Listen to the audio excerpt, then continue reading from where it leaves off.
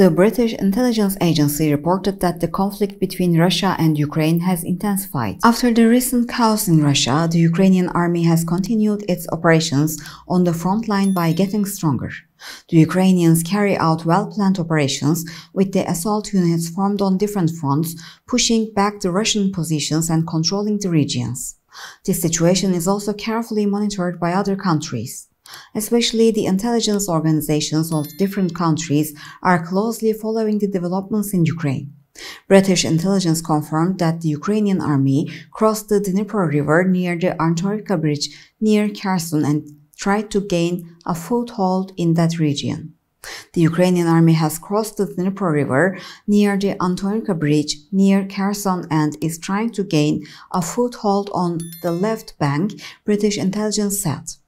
British intelligence confirmed that fighting between Ukraine and Russia has intensified near the Antonivka Bridge. The Ukrainian army is carrying out significant operations to reduce the Russian presence in the region. British intelligence, which continues to update its information, stated that the Ukrainian attacks on the bridge near Chonhar, located at the entrance to Crimea, left the Russian troops in a desperate situation and made logistics difficult for Russia.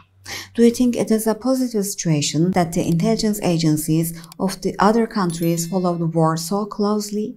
To reach all actual news fast and reliable worldwide, please don't forget to follow and like us.